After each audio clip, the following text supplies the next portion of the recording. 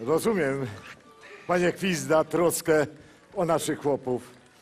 Najjaśniejszy pan też już wie o pracy nad rozpowszechnianiem hodowli jedwabników. Może nawet jakieś oznaczenie cesarskie was za to spotka, Byłby to dla mnie wielki honor, panie hrabio. bo jako zarządca majątku oraz całego uzdrowiska sprawujecie się naprawdę wzorowo. Kiedy przyjeżdżamy tutaj do Jaworza, to nawet moja najdroższa Gabrielcia nieco mniej mnie kosztuje. I to też pańska zasługa. Ale przeceniasz mnie, jaśnie panie hrabio. Ja tylko korzystając z doświadczeń z własną żoną, z- zniechęcam jaśnie wielmożną panią hrabinie do wypraw do jednego czy też y, drugiego miasta, podkreślając niewygody podróży. Gorzej będzie, jak kolej żelazną zbudują z Cieszyna do Bielska. Gorzej, gorzej, bo naszym paniom będzie łatwiej odchudzić, no co, nasze sakiewki.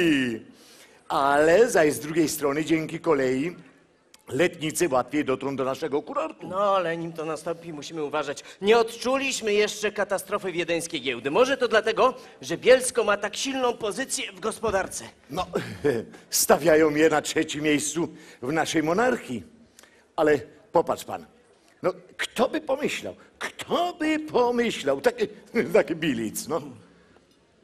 W Austrii kryzys, w Prusach też nie najlepiej. Stamtąd mamy sporo gości.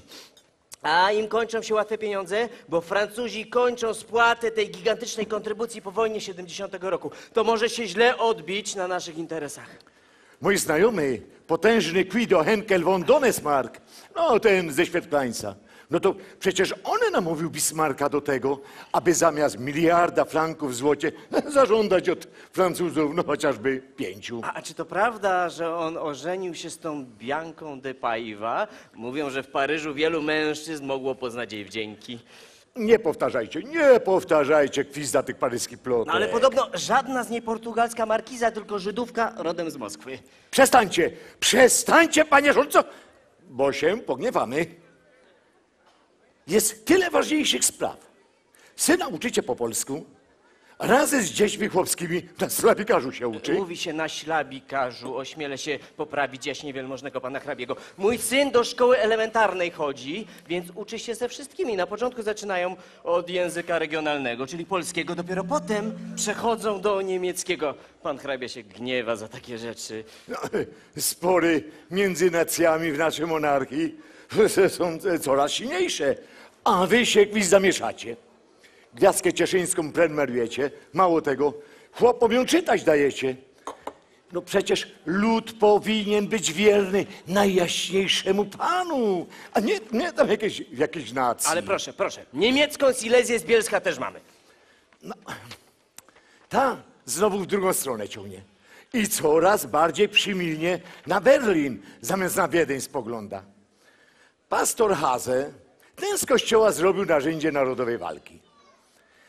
Co prawda, jeszcze wprost nie atakuje kościoła katolickiego, ale już coraz bardziej pruski kulturkam zaczyna nam tu urządzać.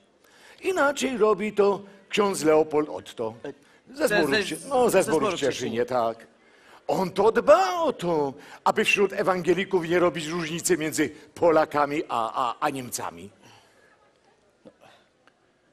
Do, pa, pan hrabia, pan hrabia mnie strofuje przed szkołą, przed gazetami, ostrzega, a sam Pan znowu o tym? znowu bo się martwię. Już powtarzałem, że nie ma o co. Przecież, co prawda, syn poznał go w Paryżu, no ale okazało się, że to, że to nasz kuzyn z bocznej linii. Kuzyn na pewno. No, Wie pan, nosi nasze nazwisko. ale podaje się za Anglika. No, wie pan, jak to artyści. Każdy szuka jakiejś swojej egzotyki. Ale panicz Filip nie musiał go od razu zapraszać do Jaworza. A pan hrabia nie musiał się na to godzić. Siedzi tam w tym swoim warsztacie, do Bielska wyjeżdża, niby to po jakieś narzędzia. Ni to inżynier, ni artysta. To bardzo podejrzana osoba, bardzo podejrzana, ja go obserwuję. I co też pan ma na myśli? Przyjechał do Jaworza krótko po tym, jak upadła ta komuna, co to rozwiązała klasztory, zaaresztowała zakonników i rozstrzelała arcybiskupa. To jeszcze wcale nie znaczy, że był komunardem. A po jego przyjeździe co się wydarzyło? No co? W Bielsku E? na początku maja zeszłego roku robotnicy zażądali podwyżek i obniżenia godzin pracy. A kiedy nie uzyskali tego, co chcieli, wyszli na ulicę i powybijali wszystkie szyby w fabrykach.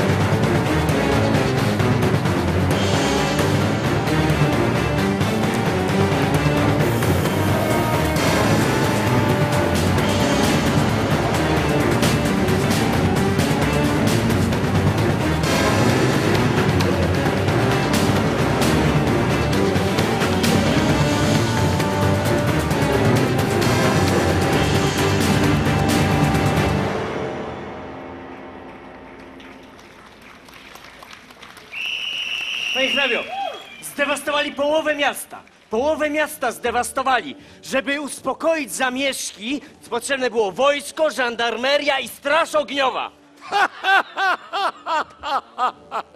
A to dlatego pan założył tą straż ogniową i u nas tu w Jaworzu. Nie no, bo pan hrabia sobie żartuje, ja, ja o poważnych sprawach. Ja najmocniej przepraszam pana hrabiego, ale ja muszę w związku z dzisiejszą uroczystością. Panie. Pizda, ale uważajcie na jego. I jak to idziecie, powiecie tym muzykantom, aby trochę ciszej. No, uszy pękają. Dobrze, naturalnie, panie hrabio.